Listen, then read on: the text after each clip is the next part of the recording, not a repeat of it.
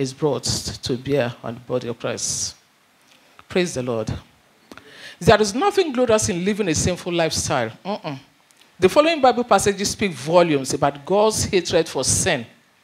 Psalm 104, verse 35 says, Let the sinners be consumed out of the earth, and let the wicked be no more. Isaiah 3, verse 11 also says, Woe unto the wicked, it shall be ill with him.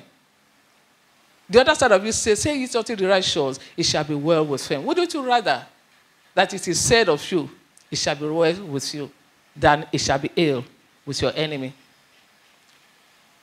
For the reward of his hands shall be given to him. Every work that we do, whether good or bad, you will be rewarded accordingly. It's becoming so appalling these days that people are so money conscious. People don't even care anymore how they get rich. You begin to wonder are you taking this money to heaven? A 70 year old will go and slaughter human being. Where is the conscience of man going to? It's like the whole world has gone into what I call the, the, the, the brain has been removed and the devil had just deposited some wickedness inside it. I say everybody begin to live in wickedness. And the truth is, if we have one man that is righteous standing and speaking against the sins, if you start from your family, from your very self, let me say, I start with myself. And I begin to inculcate it in my children. And by the grace of God, they listen. And my children go out, they begin to uh, exhibit that attitude. And they influence their friends positively. The world will change. But the truth is, we have become the same as unbelievers. There's hardly no difference. There's hardly any difference. We are all the same. When we are seated in their midst, we are enjoying their company. When they do something wrong, we applaud them. Someone that doesn't have a job comes here with the best car. And what do you do? Oh boy, you're going good. You applaud. Show me the way. May God help all of us in Jesus' name. It says here, finally, Hosea chapter 4, verse 7 also says, As they were increased, so they sinned against me. Therefore, will I, charge their, will I change their glory to shame? May the Lord not change our glory to shame. May the Lord not change our glory to shame. There are Bible passages. I'll actually want each and every one of us to go back and look at it. I looked at, actually, I had studied this before, but someone has given me another dimension, isn't it, as I'm presenting it to the church this morning. I remember I studied this in the course of the week, and most of the things I'm saying, I'm seeing them quite differently. And that's the Holy Spirit of God. What you study today, you might see it from one dimension. When you're looking at it again, it's another dimension. I'm glad that God is bringing this away this morning. Each and every one of us, let us be the light. Let us make that difference that the world desires so badly. The world has gone cuckoo. Very, very bad. And sin has become the insane. Everybody is enjoying living in sin. Will you make that difference? Will you be that light? God's view of sin and his judgment against sinners is clearly revealed in the above Bible passages. Hence, separation from God, which is spiritual death, termination of life, which is physical death, condemnation to eternity in hell, which is the second death, and other terrible consequences. Is it any wonder that we have all manner of diseases coming up that are deferring all manner of uh, treatments? Cancer is on the rise. Ebola was there. COVID 19 has come.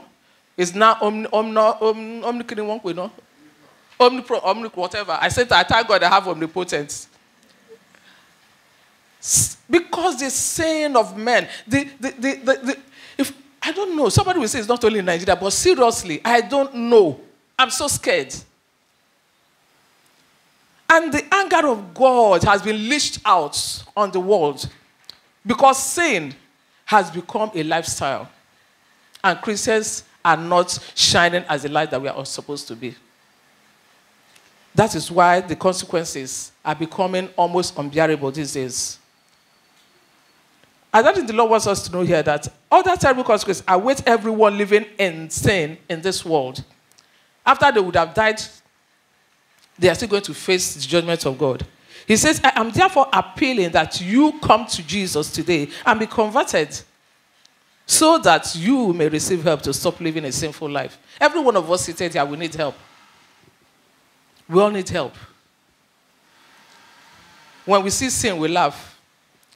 When we see bad things, eh, there was, I don't know. Please, I beg. I, mean, I don't know, Jerry. Before I begin to talk things that I'm not supposed to talk. But please, this calls for self appraisal.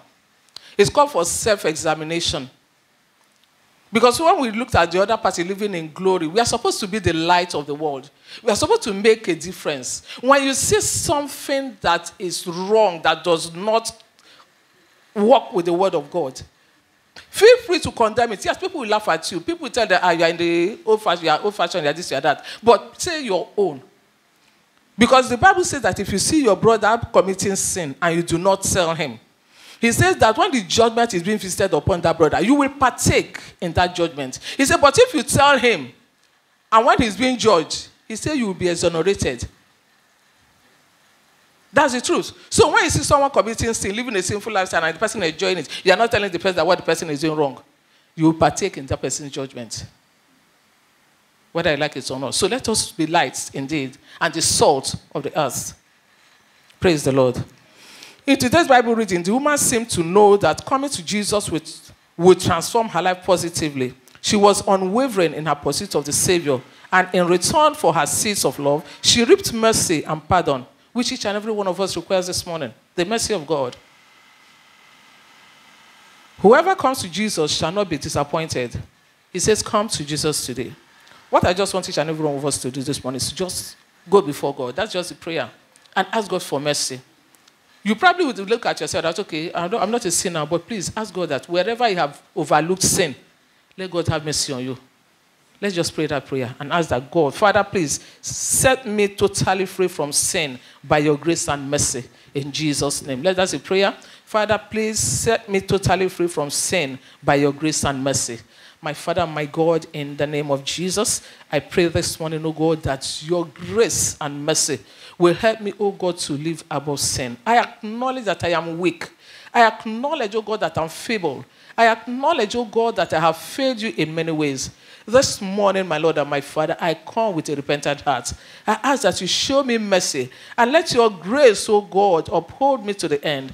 That, Lord, on the last day, I will not be a castaway. Ah, let it not be said, but she preached, oh, ah, she was calling the name of Jesus. So, Father, let me not be a castaway in the name of Jesus. And I pray for your church this morning that, Jehovah, you help each and every one of us, oh God, to live up to your standard. That the Bible will be indeed, oh God, our watchword that your word will be a lamp unto our feet and a light unto our path. In the mighty name of Jesus. Thank you, Abba Father.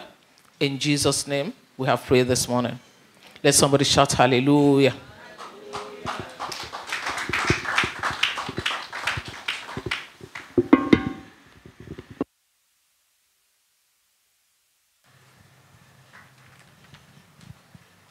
Praise the Lord.